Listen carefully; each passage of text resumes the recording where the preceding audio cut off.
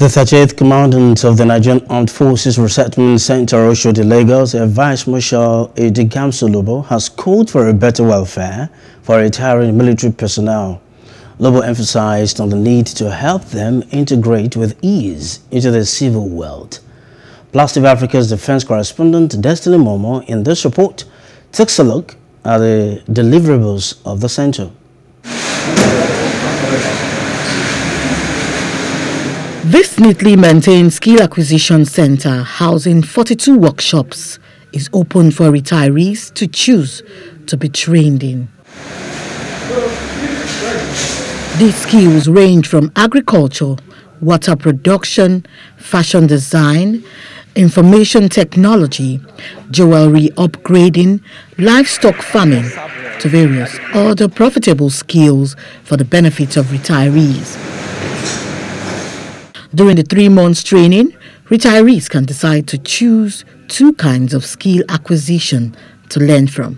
The 38th Commandant of the Center, Air Vice Marshal Idi Gamso Lubo, speaks on the journey so far in his tenure.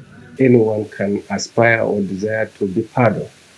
And uh, it involves sacrifice of not just body and self, but sometimes uh, our lives you know, uh, we might have to pay the supreme price.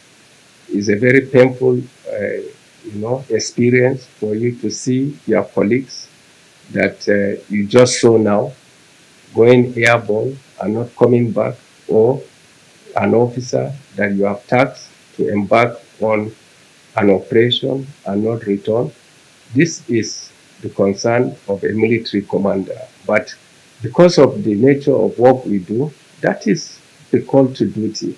It's a sacrifice for fatherland, and uh, I, I joined all families that are bereaved of their breadwinners in the course of the conflicts that we are faced with within the country and outside the country, where we have our soldiers serving, uh, to to share with them the pain of having to lose a, a father or a brother but I tell you that it is service that has been instituted by God, and from creation it has been so. Their sacrifice is not in vain. Uh, I believe that uh, the, uh, the, the, the, the, military hierarchy has in place, uh, you know, aspects of uh, welfare schemes to cater for the needs of wives and children in the absence of our loved ones. And for those of us that have retired, I think there is some certain level of improvement in our, you know, uh, entitlements as we are leaving the service. Uh, this came during this regime of the present uh, government under the watchful eyes of President Muhammadu Buhari. And we are grateful to the CMC. One of the trainers takes us through the processes of training and the skills and value it brings to the retirees. The water factory is one of the workshops in NAFRIC. That is, in NAFRIC is majorly a skill, a skill acquisition center that is designed to train the men of the armed forces that have served their fatherland for 35 years. So after the service, we try to give them skills that they can use to empower themselves. It's a, it's a kind of empowerment program. So this is one of the workshops where we take you through the skills acquisition. We train you on production of water, how to sell the water, how to market the water, and it takes just about three months to to acquire the skills because we make you go through the process and some process of repairing of the machine, and you go on marketing also. So it gives you a full package of what you expect out there when you are producing the water, the challenges you come about, the what your workers out there are going to do to you because you see what the workers there do how they try to maneuver how they try to work so it gives you a picture of what you see how they when you go out there and this trainee is learning how to produce sachet and bottled water in large quantities.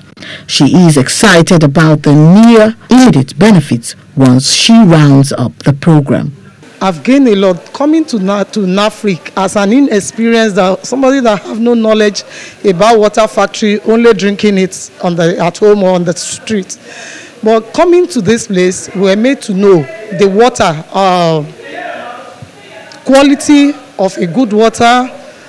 Then we were trained how to manage, to start the business, to manage the business. After retirement, you can always get something to fall back on and how to market it, to get a good market, all what it entails, like the nooks and the cranning of the business, the rudiments, the rudiments of the, the, the business were being taught here.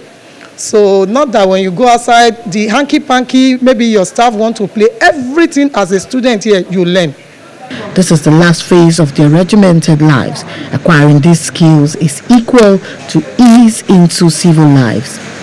Destiny Momoh for Plus TV Africa.